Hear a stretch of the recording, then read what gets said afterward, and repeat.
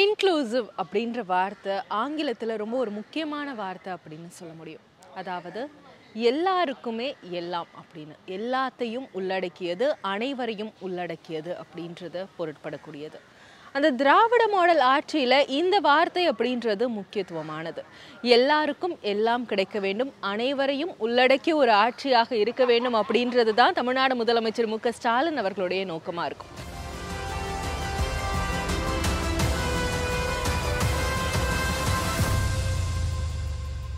அதன் அடிப்படையில் பார்த்தோம் அப்படின்னா தமிழ்நாடு முழுக்க இருக்கக்கூடிய மாற்றுத்திறனாளிகளுக்கு அவர்களுக்கு தேவையான கட்டமைப்புகளை தமிழ்நாடு அரசாங்கம் சரியாக உருவாக்கிக்கிட்டு அவர்களுக்கு தேவையான விஷயங்களை மேம்படுத்திட்டு வராங்க அப்படின்னு சொல்ல முடியும். அப்படி சிங்கார சென்னை டூ பாயிண்ட் ஓ இந்த ஒரு இனிஷியேட்டிவ்ல கூட பார்த்தோம் அப்படின்னா மாற்றுத்திறனாளிகள் கடல்ல சென்று தங்களுடைய கால்களை நனைப்பதற்காக அவர்கள் கடல்ல விளையாடுவதற்காகவே அவர்களுக்கான ஒரு சிறப்பான ரேம்ப் வந்து அமைக்கப்பட்டுட்டு வருது. இது எப்போதுமே இருக்கக்கூடிய ஒரு பெர்மனன்ட் ரேம்பாக இருக்க போகுது. அந்த மாதிரியான மாற்றுத்திறனாளிகளுக்கு என்ன தேவை அப்படின்றத பார்த்து பார்த்து செஞ்சுட்டு இருக்காங்க இன்னொரு பக்கம் அவர்களுக்கு தேவையான உபகரணங்களும் வழங்கப்பட்டு வருது. மாற்றுத்திறனாளிகள் கோரிக்கை வைக்கும் பட்சத்தில் அவர்களுக்கு இணைப்பு சக்கரங்கள் பொருத்தப்பட்ட இருசக்கர வாகனம் கொடுக்குறாங்க. அவங்களுக்காக சிறப்பான அப்ளிகேஷன்ஸ் கொண்ட மொபைல் ஃபோன்ஸ் கொடுக்குறாங்க. இந்த மாதிரியான பல்வேறு விஷயங்கள் எடுத்துட்டு இருக்காங்க அதில் ஒரு உதாரணமாக தான் செங்கல்பட்டு மாவட்டத்தை சேர்ந்த திரு மணி அவர்களை பார்க்க போகிறோம்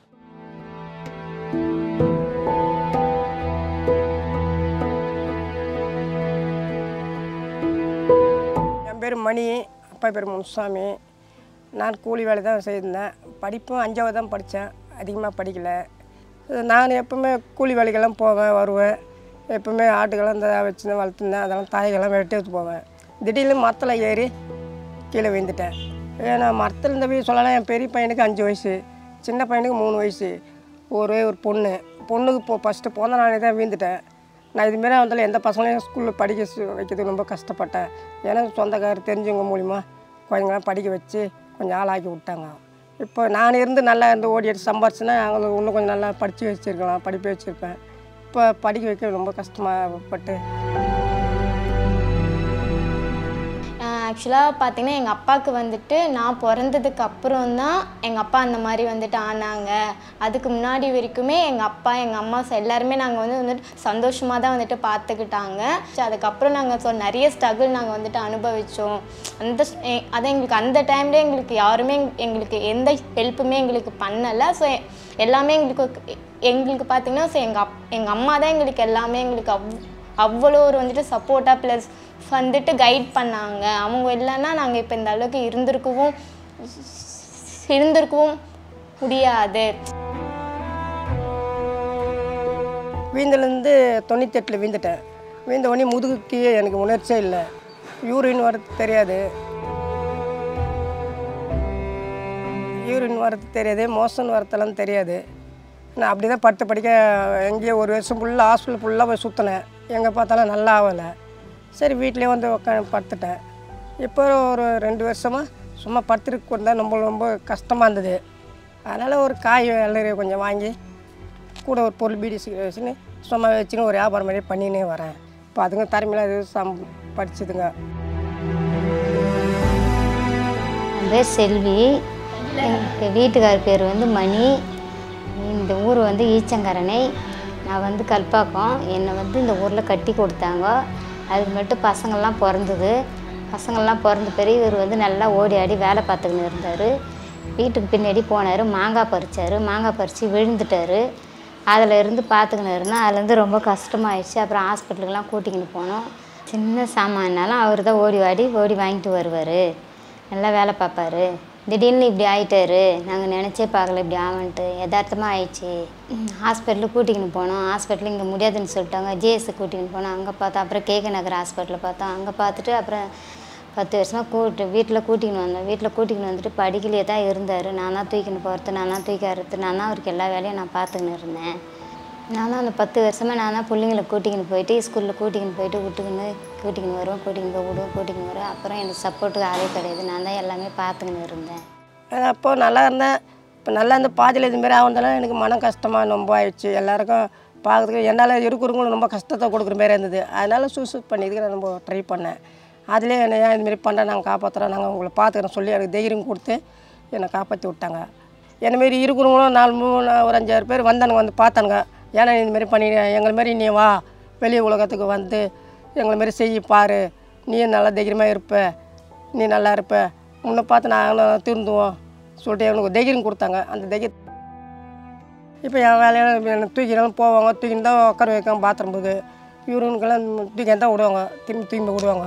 ரொம்ப கஷ்டப்பட்டிருந்தேன். ம் நான் ஃபஸ்ட்டில் சைக்கிள் மூணு சக்கர வண்டியில் தான் போயிட்டு வியாபாரம் பண்ணியிருந்தேன். அது வந்து என்ன வந்து என்ன சதீஷ்குமார்னு சொல்லிட்டு என்னை வந்து பார்த்தாரு. அவர் கூட குணான்னு ஒருத்தர் வந்தார். எல்லாம் ஒரு அஞ்சு மூணு பேர் நாலு பேர் சேர்ந்து வந்து என்னை ரெண்டு மூணு தடவை பார்த்தாங்க. நான் வியாபாரம் பண்ணதை பார்த்துட்டு நீ வந்து இந்த இப்படி இருந்து இந்த அளவுக்கு வியாபாரம் பண்ணி எங்களுக்கு ரொம்ப பெருமையாக இருக்குன்னு சொல்லிட்டு இந்த கடையை போட்ட அந்த இளநீர் வெட்டுற மாதிரி வியாபாரத்தில் போட்டோ எடுத்து எனக்கு தேவை புக்கே அனுப்பிச்சிட்டாங்க தமிழ்நாடு ஃபுல்லாகவே அமுச்சு வேலு சிஎம்ஸ் ஃபுல்லாகவே புக் அமுச்சு எனக்கு அப்போ அவங்க சொன்ன பார்த்தா எனக்கு இதெல்லாம் ரொம்ப தைரியம் வந்தது. சம் வந்துட்டு எங்கள் அப்பா வந்துட்டு அஞ்சாவது வரைக்கும் தான் படிச்சிருக்காரு. அவர் படிக்கலைன்றதுனால என்ன ப்ளஸ் வந்துட்டு எங்கள் அண்ணாவெல்லாம் வந்துட்டு அவங்க வந்து வந்துட்டு நல்லா தான் படிக்க வச்சாங்க. சார் எனக்கு வண்டியெல்லாம் இல்லாத ரொம்ப கஷ்டப்பட்ட தூக்கி போய் தூக்கி அதெல்லாம் விட்டாங்க. இப்போ ஒரு எட்டு ஒன்பது மாதத்துக்கு முன்னே அந்த ஒரு வீல் சேர் கொடுத்தாங்க. அதே ஒருத்தர் மூலிமா என்ன மாரி ஊனமுட்டுறவங்க நிறைய பேர் இருக்காங்க. அவங்க மூலிமா எனக்கு தெரிஞ்சுது. அவங்க வந்து இட்டுன்னு போனாங்க வந்து வீட்டாண்ட வந்து இட்டுன்னு போய் இதுமாரி வண்டி ஏற்றி போட்டால் வண்டி கொடுப்பாங்க. நம்மளுக்கு ஹெல்ப் எதனா செய்வாங்கன்னு சொன்னாங்க. அவங்க மூலிமா என்ன இட்டுன்னு போயிட்டு வாங்கி கொடுத்தாங்க. வீல் சேர் தள்ளின்னு போக முடியாத வீட்டாடு தான் இருந்தேன் வீட்டு விட்டு எங்கள் ரோட்டுக்கெல்லாம் வெளியே போக முடியுது. கடைக்கடிக்கு போக ரொம்ப கஷ்டமாக இருந்தது. இப்போ இந்த சுதந்திர வரைக்கும் அந்த மறுபடியும் அந்த எனக்கு வண்டி வேணும்னு சொல்லிட்டு எழுதி போட்டேன். எழுதி போட்ட பேர் அந்த வண்டி வந்த பேர் திரும்பி கொஞ்சம் தூரம் ரெண்டு கிலோமீட்டர் மூணு கிலோமீட்டர் போய் வரைய எனக்கு சௌகரியமாக இருக்குது அந்த வண்டி.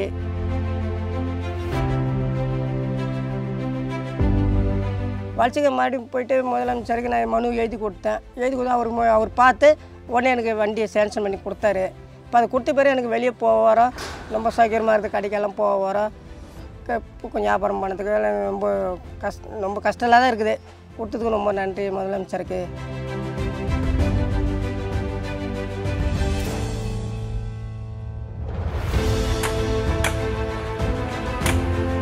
ஆனால் அந்த வீல் சேர் இருக்க சொல்லிட்டு நான் எங்கே வீட்டை விட்டு எங்கேயும் வெளியே போக மாட்டேன். வீட்டிலே தான் இருப்பேன். இப்போ அந்த ச வண்டி கொடுத்ததுனால ஒரு எனக்கு போக வர ரொம்ப சௌகரியமாக இருக்குது போய் வரோம். இப்போ அதனால் முதலமைச்சருக்கு தெரிஞ்சு உடனே அந்த வண்டி எனக்கு சேங்ஷன் பண்ணி கொடுத்தாரு. கொடுத்துக்காக இப்போ கடைக்கடிக்கு போக வரோம். இப்போ என் வேலையை நானே பார்த்துக்கிறேன். இப்போதைக்கு அதுக்கு முன்ன நின்று வியாபாரம் பண்ண முடியாது. இந்த வண்டியில் உட்காந்து நான் வியாபாரம் பண்ணுறேன் எனக்கு அது ரொம்ப யூஸ்ஃபுல்லாக இருக்குது. இந்த வண்டி இதெல்லாம் ஹைட்டாகவும் இருக்குது. நல்லா அதுக்கு முன்னே தரையில் தான் உட்காந்து வியாபாரம் பண்ணியிருந்தேன். இப்போ இந்த வண்டி அதனால் வண்டியில் உட்காந்து வெட்டி கொடுக்க வியாபாரம் பண்ணால் எதனா பொருள் ஏற்று கூட எனக்கு ரொம்ப யூஸ்ஃபுல்லாக இருக்குது. அதுக்கப்புறம் எங்கள் அப்பா இந்த மாதிரி ஆனதுக்கப்புறம் ஸோ நிறைய பேர் வந்துட்டு எவ்வளோ எங்களை வந்துட்டு சொல்லியிருந்தாலும் எங்கள் அப்பா கொஞ்சம் ஸ்ட்ராங்காக வந்துட்டு இருந்ததுனால ஸோ நாங்கள் இப்போ கொஞ்சம் வந்துட்டு நல்லா இருக்கோம். அதுக்கப்புறம் பார்த்திங்கன்னா எங்கள் அப்பாவுக்கு கொஞ்சம் வந்துட்டு வெளியே போக வர வந்துட்டு கொஞ்சம் வந்துட்டு கஷ்டப்பட்டாங்க. அதுக்கப்புறம் அவங்க இந்த வந்துட்டு சிஎம் உடைய அந்த ஸ்கீம்னால அவருக்கு வந்துட்டு இந்த வண்டி கொடுத்தாங்க. ஸோ அதுக்கப்புறம் பார்த்திங்கன்னா அவங்க வேலையை அவங்களே தான் பண்ணிக்கிறாங்க. ஸோ அவங்கள அவங்க வந்துட்டு எங்களை வந்துட்டு எந்த விதமான வந்துட்டு டெஸ்டப்பும் அவர் எங்களை பண்ணதே கிடையாது. ஸோ அந்த வண்டி கொடுத்த வந்துட்டு சி சிஎம்க்கு நன்றி. என்ன மாதிரி ஆளுங்களுக்கும் நானும் நாலு பேருக்கு எடுத்து சொல்லுவேன். இதுமாரி முதலமைச்சர் எனக்கு ஹெல்ப் பண்ணார். அவரால் நான் அந்த பத்து ரூபா சம்பாதிக்கிறேன் யார் எடுத்துகிட்டு நான் பத்து ரூபா சம்பா அதே மாதிரி என்ன மாரி இருக்கிறவங்களும் கஷ்டப்படுறவங்க நிறைய குடும்பம் இருக்குது. எனக்கு கொடுத்த மாதிரியே ஒரு ஏ பத்து பேர் கொடுத்துக்கிறாரு. அவங்கவுங்க அவங்களாம் முடிஞ்ச ஹெல்ப் பண்ணுறாங்க ஒருத்தர் அவங்க தொழில் செய்கிறாங்க ஒருத்தர் கோழி பண்ண வச்சுக்கிறாரு. ஒருத்தர் தொடப்ப வியாபாரம் எல்லாம் பண்ணுறாங்க இன்னும் ஒருத்தர் அவருக்கு தெரிஞ்ச வியாபாரத்தை அவர் பண்ணின்னு வராங்க.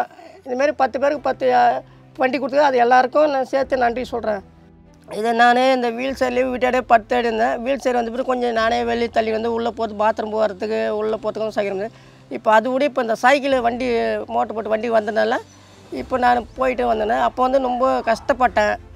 கஷ்டப்பட்டேன். நானே ரெண்டு தடவை சூசைட் பண்ணிது கூட ரொம்ப ட்ரை பண்ணேன். ரெண்டு மூணு தடவை எனக்கு ரொம்ப கஷ்டமாக இருந்தது சூசைட் பண்ண அதுலேயும் கொஞ்சம் காப்பாற்றி விட்டாங்க. இப்போ மறுபடியும் கடைக்கு போக வர ரொம்ப இதை விட இந்த வண்டி வந்த பேர் நாலு பேர் பார்க்குறேன் பேசுகிறேன் எனக்கு கொஞ்சம் தைரியம் வந்தது இப்போது சரி நம்மள வாயிலான்னு ஒரு துணிச்சல் வந்தது.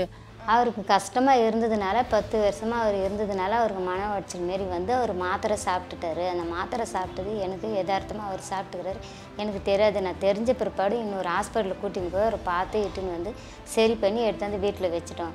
நான் இருக்கும்போது நீ ஏன் அந்த வேலை செஞ்சேன் நான் உன்னை பார்த்துக்க போகிறேன் நீ ஏன் எதுக்கு இந்தமாரி பண்ணேன் நான் தானே வந்து உனக்கு வந்து பார்த்து நல்ல ஒரு நிலைமைக்கு கொண்டுக்கணும் வந்தேன். ஏன் நீ இந்த வேலையை பார்த்தேன் நான் இதுமாரி அடிப்பட்டது எனக்கு ரொம்ப கஷ்டமாக இருந்தது. நான் என் உயிரே முடிச்சுக்கலான்னு சொல்லிட்டு ரொம்ப கஷ்டப்பட்டேன். இப்போ வந்து இந்த புக் கடையை வந்து என்ன மாரி இருக்கிறவங்க வந்து ஃபோட்டோ எடுத்து அதெல்லாம் போ பேப்பரில் அனுப்பிச்சு அதை நாலு பேர் பார்த்து எனக்கு அடிக்கடி ஃபோன் பண்ணுறாங்க அவங்களாம் ஃபோன் பண்ணி ஃபோன் பண்ணி ஆனால் ஒன்று பார்த்து எனக்கு தைரியமாக இருக்குண்ணா நான் நானும் அந்த ஒரு வியாபாரம் பண்ணலாம். எங்கன்னா போகலான்னு சொல்லிட்டு பெருமையாக இருக்குது. அது முன்னுதரமாக இருக்கிறதுனால எனக்கு பெருமையாக இருக்குது அது. இப்போ அதேமாரி மாதிரி என்ன மாதிரி போய்க்கணும். நாலு பேர் கஷ்டம் இருந்தால் இன்னும் எனக்கும் நல்லா பெருமையாக இருக்கும். அவங்களுக்கும் பத்து ரூபா சம்பளம் அடுத்தவங்களும் கையேந்து நிற்கக்கூடாது இப்போ நம்ம கஷ்டத்தில் சம் சாப் சாப்பிட்ணும். அந்த தைரியம் எனக்கு இருக்குது. அதே போல் எல்லாருக்கும் வரணும் தைரியம். அதேமாதிரி மாதிரி எல்லாருக்கும் வீட்டில் இருக்கிறவங்களுக்கும் கஷ்டம் கொடுக்கும் பெற்றவங்களுக்கும் நம்ம கூட இருக்கிறவங்களுக்கும் கஷ்டம் கொடுக்காத நம்ம வாயலாம் தன்மைமைகளும் நம்ம வாயலாம் நம்மளுக்கு நம்ம ஒரு தைரியம் இருந்தால் அவங்களுக்கும் கஷ்டப்பட்டவங்களுக்கும் ஒரு தைரியம் இருக்கும். சரி உங்களால் காப்பாற்றினாலுக்கு அவர் எல்லாம் ஒரு பத்து ரூபா சம்பாதிக்கிறாரு. சொல்லிட்டு அவங்களுக்கும் ஒரு தைரியம் இருக்கும். இப்போதுக்கு சாரு இப்போ முதலமைச்சர் ஆட்சி வந்ததுலேருந்து இப்போ இப்போ இந்த பொருளெல்லாம் கொடுக்க வண்டி கொடுக்குறாங்க. இப்போ வெளியே போக வர கஷ்டம் நல்லா இருந்தது. இப்போ அதுக்கு முன்னாடி நம்ம சைக்கிள் தான் மூணு சக்கர வண்டியில் போய்கிட்டு தான் வந்திருந்தோம். எனக்கே கைக்கெல்லாம் வலிக்கும். சைக்கிளில் போகிறது வரது இப்போ முதலமைச்சர் மூலிமா இந்த வண்டி கிடச்சதுனால கொடுத்தனால எங்களுக்கு போக வர கஷ்டம் நல்ல- கஷ்டம் இல்லை. கஷ்டம் தெரில இப்போ இன்னும் இன்னும் ஒரு ரெண்டு கிலோமீட்டர் அதிகமாக போகலாம் வரலாம். இன்னும் நாலு பேர் சேர்க்கலாம். அவருக்கு இப்போ வண்டி கொடுத்த பிற்பாடு இப்போ கடைக்கு போகிறாரு வராரு. அவரும் வெளியில் இருக்கிறவங்கள சந்திக்கிறாரு நல்லா பேசுகிறாரு அவர் முகத்தில் நல்லா கலர்ச்சியாக இருக்குது நல்லா இருக்கிறாரு. இந்த வண்டி கொடுத்த முதலமைச்சருக்கு ரொம்ப நன்றி. இந்த வண்டி கொடுத்ததுனால ரொம்ப சந்தோஷமாக சிரிப்பு கலையோடு இருக்கிறாரு. இந்த பொருளெல்லாம் கொடுத்தது எங்களுக்கு ஊக்கம் கொடுத்ததுக்கு எங்களுக்கு தைரியத்தை கொடுத்தது. இன்னும் மேலே மேலே கொடுக்கணும். இன்னும் தைரியம் செய்யணும்னு சொல்லிட்டு அவர் கொடுத்ததுக்கு ரொம்ப நன்றி. அவர் குடும்பத்துக்கு நன்றி. அவருக்கு முதலமைச்சருக்கு. இப்படி இளநீ வியாபாரம் செஞ்சு மணி தங்களுடைய வாழ்வாதாரத்தை உறுதிப்படுத்திட்டு இருக்காங்க. இதற்கு தமிழ்நாடு அரசாங்கமும் ஒரு முக்கியமான காரணமா இருந்திருக்கு. விதவை இந்த வார்த்தையை தவிர்த்து அவர்களை கைம்பெண் அதாவது அவர்களுடைய அந்த வார்த்தையிலேயே இரண்டு புள்ளிகள் இருக்கு இரண்டு பொட்டுகள் இருக்கு அவர்களை கைம்பெண் அப்படின்னு அழைக்கணும்னு சொல்லி அந்த வார்த்தையை ஒரு அடையாளமாக்கியவர் முத்தமிழறிஞர் கலைஞர். அப்படிப்பட்ட கைம்பெண்களுக்கான வாழ்வாதாரத்தை மேம்படுத்த அவர்களுக்கான மாத உதவித்தொகை தமிழ்நாடு அரசாங்கம் கொடுத்துட்ருக்காங்க. கடந்த ஆட்சி காலத்துல இந்த மாதிரியான கைம்பெண்ணுக்கான உதவித்தொகை அப்படின்றது சரியா கிடைக்காம இருந்தது. ஆனால் திமுக ஆட்சி பொறுப்பேற்று இந்த கிட்டத்தட்ட ஒன்றரை ஆண்டு காலத்துல தேங்கி இருந்த கைம்பெண் உதவித்தொகைக்கான மனுக்கள் எல்லாமே சரி செய்யப்பட்டு அந்த மனுக்களுக்கு தீர்வு காணப்பட்டு அதனுடைய பயனாளிகள் பலரும் இன்னைக்கு பயனடைஞ்சிட்ருக்காங்க. அதற்கு ஒரு உதாரணமா தான் இந்த காட்சிகள். இந்த பெரியார் நகரில் இருக்கிறோம் நாங்கள் பசங்க பேர் பவானி மஞ்சு லாவண்யா. மூணு பொண்ணு. எங்கள் வீட்டுக்காரு இறந்து நாங்கள் ரொம்ப கஷ்டப்பட்டுனுக்கிறோம். பதினாறு வயசில் கல்யாணம் ஆயிடுச்சு. இது வரல நான் எங்கேயும் வேலை வெட்டிக்கு போனது கிடையாது. எனக்கு வேலை செஞ்சு பழக்கம் இல்லை. நான் படிச்சவும் கிடையாது. எனக்கு ஒன்றுமே தெரியாதும்மா. வீட்டோடு இருந்தம்மா நான். எங்கள் மாமனார் சாசலாம் எனக்கு கல்யாணம் ஆகலை. அவர் செத்த கையோடு தான் அவருக்கு வேலை வந்துச்சு. பதினஞ்சு வருஷமாக அவர் அந்த வேலை தான் செஞ்சுன்னுக்கிறாரு. ரோடு போடுற வேலை. மூணு பொண்ணு ஒன்று தண்டார்பேட்டில் இருக்குது ஒன்று முல்லை நகரில் இருக்குது. ஒரு பொண்ணு இங்கே கிரே நகரத்தில் இருக்குது. உங்க இதை எடுத்துன்னு வந்து எனக்கு கொஞ்சம் கொடுப்பாங்க அதை வச்சு நான் சாப்பிட்டுக்கின்னு இருக்கிறேன் பொண்ணுங்க அது அது வேலை சேர்ந்து அது அது அதுங்க தனியாக கல்யாணம் பண்ணின்னு போயிடுச்சு. நாங்கள் எந்த சீரும் கொடுக்கல. ரொம்ப கஷ்டப்பட்டேன். அவர் செத்து கூட வேலை மேலே ஒன்றே வரல எங்களுக்கு. நான் ஒருத்தர் பிடிச்சி இந்த விதி காசு கோசம் நான் எழுதி அதை மூணு மாதமாக நான் சாப்பிட்டுனுக்கிறேன் பொண்ணுங்களாண்டு கூட நான் போகல. அதை வச்சுக்கின்னு நான் கரண்ட் பில்லு கட்டிக்கின்னு கேஸ் வாங்கிக்கின்னு சன் டிவி கட்டிக்கின்னு நான் இப்படியே காலத்தை தள்ளினுக்கிறேம்மா அதாம்மா எனக்கு வருமானம். வேறு எதுவுமே வருமானம் இல்லைம்மா. அவர் செத்து கூட பத்து பைசா எனக்கு வரலம்மா. அவர் செத்து சாவதுன்னா கவர்மெண்ட் வேலை செஞ்சிருந்தார். இல்லை யாரையும் பார்க்கறதில்ல. பிள்ளைங்கள கூட பார்க்கறது கிடையாது. அது எது வேலை செஞ்சு அது எது தாலி கட்டின்னு போச்சு நாங்கள் எது அதுங்களுக்கு எதுவுமே சீர்கீரு கொடுக்கல. சாவரப்போ தான் எங்களாண்டு வந்து சேர்ந்தாருமா அவர். இப்போ கூட வேலை மேலே பத்து பைசா எங்களுக்கு கொடுக்கல. வேலை மேலே யார் யாரையும் போனேன் ஒன்றே முடியாதுன்ட்டாங்க நாங்கள் வந்துட்டோம். அதிமுக ஆட்சியில் எங்கள் வீட்டுக்காரர் இறந்துருந்தாருமா. நாங்கள் எவ்வளோ மனு எழுதி கொடுத்தோம் அப்போ கூட எங்களுக்கு பத்து பைசா வரல. எந்தெந்த கட்சிக்காரெல்லாம் பிடிச்சி இட்டுன்னு போனோம் அப்போ கூட தரல அவங்க. நாங்கள் காலையில் கூட போய் உயிர்ந்தோம். கிடையாதுன்ட்டாங்கோ. கேட்டால் ஒரு வே வேலைக்கு வராதுக்கெல்லாம் வராதுமா உங்களுக்கு தெத்தி அமுச்சிட்டாங்கோ. நாங்கள் டெய்லியும் நடந்துன்னு இருந்தோம் எங்களுக்கு எந்த காசும் வரலம்மா. தாசந்திர ஆஃபீஸில் மேடம் பிடிச்சானாங்க. அவங்க என்னங்கன்னா நீங்கள் விதவி காசு எழுதி போடுங்கம்மா. நான் இன்னொருத்தரை பிடிச்சி நாங்கள் எழுதி தரேன். அந்த காசு உனக்கு வரமானாங்க அந்த மேடம் சொல்லி நான் எழுதி கொடுத்து அந்த மூணு மாதமாக நான் வாங்குறேன். இந்த ஆயிரரூபா வரல என்னம்மா பண்ணியிருப்பேன் நான்? பசங்களை தான் எனக்கு பார்த்துருக்கேம்மா. நான் அது வரவோ கொஞ்சம் இதுவாகுதும்மா எனக்கு. கொஞ்சம் கை செல்லுக்கு இருக்குது. கொஞ்சம் சாப்பிட்டுன்னு கிடக்குறேம்மா. அந்த காசு வச்சுக்கின்னு. வீடு சொந்த வீடு. இடிக்கிறாங்க. இப்போ நாங்கள் எங்களுக்கு வீடு கிடைக்கல. எங்கே எங்கே நாங்கள் சுற்றுறோம் எங்களுக்கு வீடு கிடைக்கல. நான் ஒண்டி தான் இருக்கேன். பொண்ணுங்களாம் தனி தனியாக இருக்க போ பெரிய பொண்ணு தான் இங்கே இருக்குது. ஆயிரத்தி ஆறு வருஷத்துக்கு முன்னே அதிமுகவில் இருந்தாருமா? அவர் அந்த நேரம் செத்துவரா? அவருக்கு அப்போ கூட எங்களுக்கு பத்து பைசா வரல. நாங்கள் நடையான அண்ணன் நாங்கள் எழுதி கொடுத்தோம். தினி மனு கொடுத்தா எங்களுக்கு பத்து பைசா கொடுக்கல. அந்த ஆட்சி இல்லாத இந்த ஆட்சியிலே எங்களுக்கு ஏதோ ஒரு ஆயிரரூபா கிடைக்குதுமா? அதை வச்சு நாங்கள் சாப்பிட்டுனுக்குறோம்மா. ஆயிரரூபா கொடுத்த முதலமைச்சருக்கு ரொம்ப நன்றி.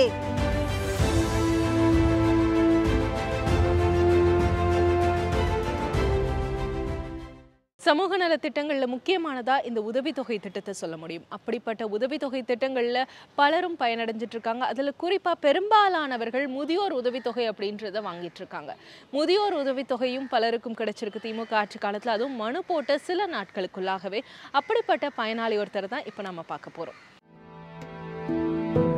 அதில் சம்பாதிக்கிறது. ஐநாவாரத்தில் இளைஞர் அணி செயலாளராக ஒருத்தர் அவர் பேர் ஞாபகம் இல்லை. அவர் என்ன பண்ணார் இந்த மாதிரி ஏற்றி போட்டிங்கன்னா இந்த மாதிரி தொகை தருவாங்க அப்படின்னு நான் பண்ணேன் அவரே ஃபார்ம் பண்ணி அவரே எழுதி கொடுத்தார். அதை எடுத்துன்னு போய் கொடுத்ததோட்டு எனக்கு மாதம் ஆயிரம் ரூபாய் வர ஆரம்பிச்சு. ஒரு வாரத்தில் எழுதி போட்டேன். ஒரு வாரம் கழிச்சு இப்போ நாலாவது மாதம் நான் வாங்குறேன் பென்ஷன் இப்போ அந்த ஆயிரம் ரூபாய் வர்றதுனால நான் மாதத்துக்கு ஒரு வாட்டி கேம்ஸ் ஹாஸ்பிட்டலுக்கு போட்டு ஆட்டோவுக்கு போகிற நூறுரூபா வர நூறுரூபா இரநூறுபா டாக்டருக்கு மாத்திரை வாங்க போகுது. நூறுரூபா டெய்லி பால் பிஸ்கெட்டு மத்தியானமும் காலையில் நூறுரூபா வருது. அப்புறம் என்ன பண்ணேன்? தைலம் ஒரு நூறுரூபாய்க்கு வாங்குறேன்.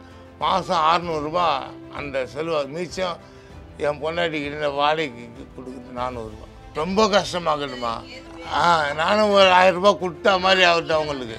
இந்த காலு கை ஊண்டு பாரு மனசு கஷ்டம் என் பொண்டாட்டி வேலைக்கு போகிறது ரொம்ப கஷ்டமாக இருந்து. இந்த உதவித்தொகை ஆயிரரூபா வர்றதுனால எங்களுக்கு அதால் வீட்டு வாடகையும் கொடுக்க முடியுது. ஒரு இரநூறுபா மாத்திரை வாங்கி போடுறதுக்கு பால் கீழுக்கு எல்லாத்துக்கும் வசதியாக இருக்குதுங்க அந்த ஆயிரரூபா வர்றது. நானும் வந்து என் பொண்டாட்டிக்கு உதவுற மாதிரி ஒரு ஆயிரரூபா பத்துக்குன்னு ஒரு ஆயிரரூபா கொடுத்து உதவுற மாதிரி அவங்களுக்கு ஒரு சந்தோஷம் எனக்கு ஒரு சந்தோஷம். கிடைக்குதுங்க என் பொண்டாட்டியை நான் லவ் பண்ணி கல்யாணம் பண்ணிக்கிறேன். பண்ணின்னு இவ்வளோ நாள் வாழ்ந்தேன். நான் இந்த நோயாக படுக்கும்போது அவங்க ரொம்ப துடிச்சு போயிட்டாங்க. ஏன்டா இந்த பாய் இந்த ஊசியை போட்டு இந்த மாதிரி ஆயிட்டுன்னு ரொம்ப ஃபீலிங் பண்ணி இருந்திருந்தாங்க. அந்த கஷ்டத்துலேயும் என்னை விட்டு போகாத எல்லாம் பண்ணி பார்த்தாங்க. என்ன அந்த பாசம் லவ் பாசத்தால் என்னை கூட வாழ்ந்து இது வரைக்கும் காப்பாற்றின்னுக்கிறாங்க இந்த பணம் தொகை கொடுத்தோன்னா அவங்களுக்கு ஒரு சந்தோஷம். எங்கள் இன்னைக்கு உடம்பு நல்லாயிட்டா அவங்கள நல்லா இதுக்கு மேலே நல்லா பார்ப்பேன். ரொம்ப இன்ஜாரியாக இருப்போம்மா. ரொம்ப ஆசையாக பார்த்தோம் ரொம்ப நன்றி அவங்களுக்கு. திமுக ஆட்சியில் இந்த ஆட்சி வந்து டிவி வாங்கிக்கிறேன் கிரைண்டர் வாங்கிக்கிறேன் மிக்சி வாங்கிக்கிறேன் ஃபேனு வாங்கிக்கிறேன். இப்போ நான் கை கால் உண்டதுக்கு ஆயிரரூபா ஹெல்ப் பண்ணிட்டாங்க அதே மாதிரி ஆஸ்பத்திரியில் இந்த ஆட்சியில் நல்லா ட்ரீட்மெண்ட் பண்ணி என்ன என்ன படுத்த படுக்கையாக இருந்தவன் ஏந்து நடக்கிற அளவுக்கு எனக்கு வலுவு கொடுத்துக்குறாங்க இந்த ஆட்சியில். அந்த ஆட்சிக்கு ரொம்ப நன்றி. எங்கள் எல்லாருக்கும் எனக்குன்றது இல்லை இந்த பகுதியில் இருக்கிற மக்களுக்கு எல்லாருக்கும் நல்லது நடக்குது. இதெல்லாம் நன்மை அடையணுங்க பல பேர் அதில் நானும் ஒருத்தன். அந்த முதலமைச்சருக்கு ரொம்ப நன்றி. இப்படி ஒட்டுமொத்தமா எல்லாரையும் உள்ளடக்கிய எல்லாருக்கும் என்ன தேவை அதை நிறைவேற்றி தரக்கூடிய ஒரு அரசாங்கமா தமிழ்நாடு அரசாங்கம் இருந்துட்டு இருக்காங்க. அதற்கான ஒரு உதாரணங்கள் தான் இன்றைய முதல்வரின் முகவரி நிகழ்ச்சி.